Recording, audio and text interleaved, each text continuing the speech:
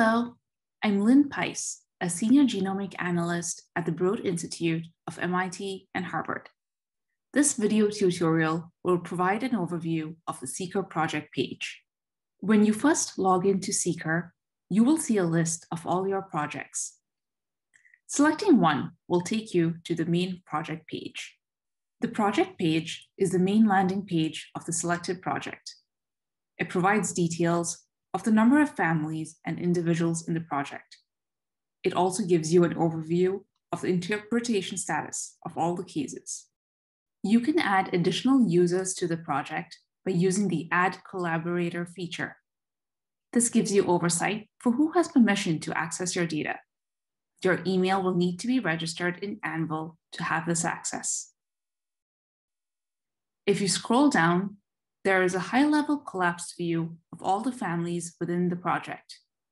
In this view, you can see the pedigree, analysis status, who has analyzed the case, type of data loaded, and a description of the family. If the case has been analyzed and variants have been tagged, you can also get an overview of the variants saved by hovering over the saved variants box. Clicking the arrow next to the family ID or clicking on the family ID opens an expanded view of the case. Here you see additional details or can leave notes for yourself and colleagues about the case. If you have analyzed a case, you can indicate this by using the Analyzed by feature. This lists the email address of the user who selects it. It is timestamped and cannot be undone. You can select it multiple times to indicate that a case has been reanalyzed at a later date. It can also be used by multiple analysts to create a history of when and who has analyzed the particular case. You can add phenotype details about your case by choosing HPO terms listed in the features section. To add an HPO term, select the pencil icon next to features. This opens a box where you can select from HPO terms that are present in the patient. Once you have added a term, you can put in more information by selecting Edit Details. Here you have the option to add information such as age of onset, severity, and so on.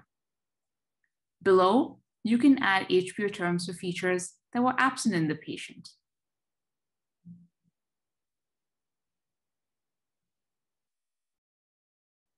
You can search for a specific family by entering the family ID in the search box.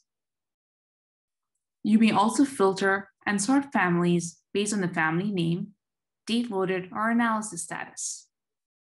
The high-level overview of the families displayed on the project page can be downloaded in the format of your choice.